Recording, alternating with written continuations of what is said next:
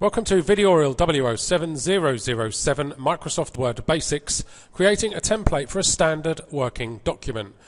Okay, in this video I'm going to show you how to create um, a template for a general purpose standard working document.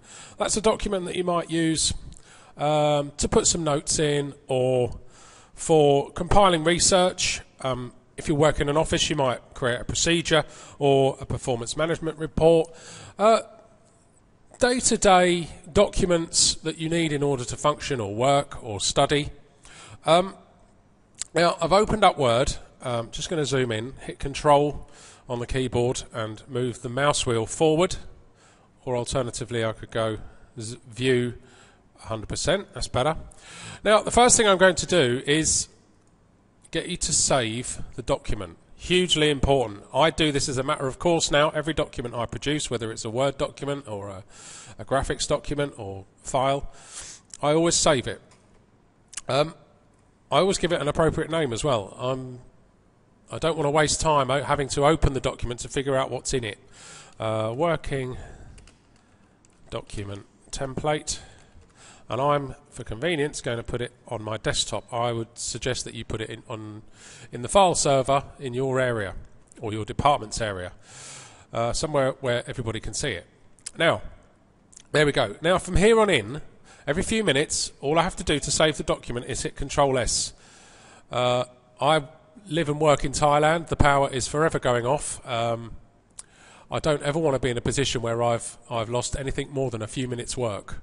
Okay, I have had students in the past work for four hours writing an essay, uh, and the power go off, and then the look of horror on their face when they've realised that they didn't save it, and then having to do the whole lot again. Uh, it's soul destroying. You shouldn't have to do that. Get into the habit, save it straight away. Control S, Control S whenever you need to save it. Now, the document's opened. Uh, first thing first, I want to maximize the space on the page that I can utilize. Okay. Now I'm going to go from normal, which is the default. So if you go into the margins, page layout, margins, narrow, that's the one I'm going to suggest you use. Now the reason why I'm suggesting that is because most printers only require about 5 millimeters space around the outside of a page in order to grip the paper and feed it through the printer. Okay, so if you've got a margin that's twice that size, you're going to lose probably about an inch to an inch and a half of of space around the outside of the paper. It's not cost effective. Ink and paper, and actually paper click printers, are very expensive. Uh, a huge overhead for businesses and schools. Now, um, that explains margins. We're ready to go now with a header. Now, it's important to put a header in so that when you send it to the printer, and the printer quite often lives in a different room or in a different part of the building. When it does print, there's usually a delay between you printing and, and, and going to pick it up.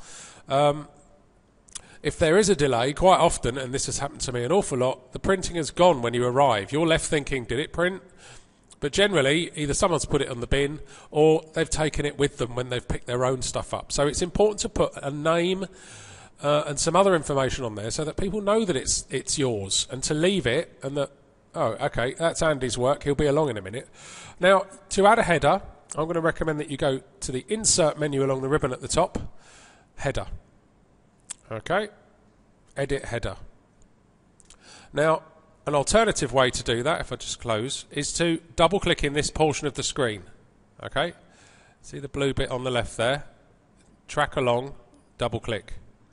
Right, we're in again. Now, I'm going to start with my name.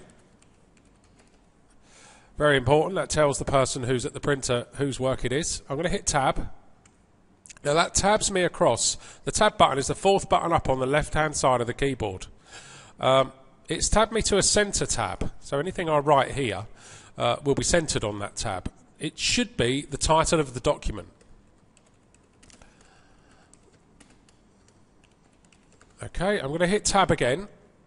Now, here you might put the date, but also you might put the department in which you work. Now, done. Um, the only thing I will say is that it doesn't quite sit flush with the right hand margin, does it? So what I'm going to do is I'm going to click the tab, keep the left mouse button uh, pressed down, and then drag to the right hand side. Okay, now this isn't central either, this central tab. So again, I'm going to click and drag. I'm going to use my eye looking at the screen to figure out where it, when it looks right. That looks about perfect. Now, one other thing. If I was to close the header now, which I'll do just to show you, look at how close the text is on the page to the actual header. Now, the header will print. Um, so if you print the two together, it, it, won't look very nice. So I'm going to go back into the header. Go insert header, edit header. I'm going to go to the right hand side after the word department. I'm going to hit enter once. That adds an extra line underneath. Okay, close header. Perfect, done. Now I'm just going to hit Control S to save it. Now I'm going to add some formatting to enable me to add a title, a heading, and some text for body text. It just means that when I open up the document again, I don't have to reformat. So I'm going to put the title goes here, dot, dot, dot. Um, the heading goes here. The main body of the text goes here. Now, I've just typed those in. They're kind of like placeholders for the text uh, that we're actually going to put in when you create the document for real. I'm going to remove any formatting uh, that's been applied. Now, it automatically puts Calibri as the font. Might be different on your machine, depending on the fonts you've got available. I'm going to change all of the fonts in this document, at least in the main body, to Arial. So I'm going to hit Control A, or I could just click keep the left mouse button held down and then drag. Um, I'm going to change it to, now I could select from one of the options here, or I could just start to type it here. And it comes up. Okay, I just hit the tab button and that moves me across to the size. I want to reduce it. So I could select it or I could just do that. There's lots of ways of doing it. That takes care of font and font size. I'm actually going to remove line spacing, or at least paragraph spacing. So I'm going to go into this button here, line spacing. I'm going to remove the spacing after. There we go. So there's no paragraph formatting now, that, other than line spacing, which is 1.15, which to be honest you shouldn't mess with. Um, we're ready to go. Now this is going to be the title, so I'm going to suggest you use either a 16 or an 18 size font. I'm going to make it bold, and I'm going to apply some paragraph formatting after. I'm going to make it 12 point. Plenty of room between the title and the next heading. Okay? Now, as you can hear, I'm uh, suffering from allergies. I do apologise. Um, it's, uh, snotty nose. Anyway, I'm going to make this heading uh, bold as well, but I'm going to use. No, that's too big. I'm going to use a 12 point here. Now, for the heading and the main body text, I'm going to apply line spacing of six point. Okay, so every time I hit enter, it will it will apply six point spacing underneath the line that I've just been working on. Okay, this is pretty much it. Okay, now I'll save it for one last time and I'll close it down. Now, how you would use this document is that you would go to the repository or the the temp where the template lives. You would open it up as I've just done. And you would go File, or hit the Office button, Save As, and you'd give it a new name, depending on what it was that you were, you were doing. Uh, it's World Book Day on Friday this week. Ideas for costumes. A general purpose document, that's what it is. I could put uh,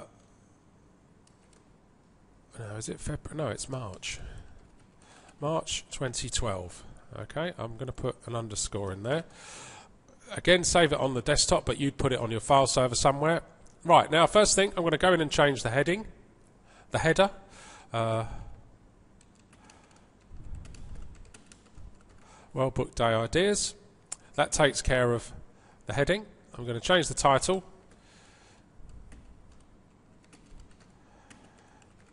ideas and then I'm going to put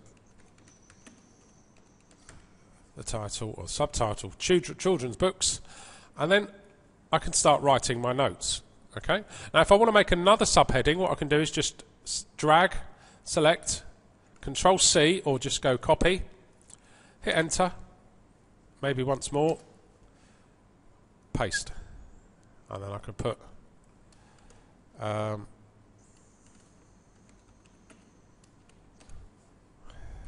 grown up books. Okay, now I can just, again, Control S. That is pretty much how this template should work. The idea is that you're not having to recreate the document from scratch every single time.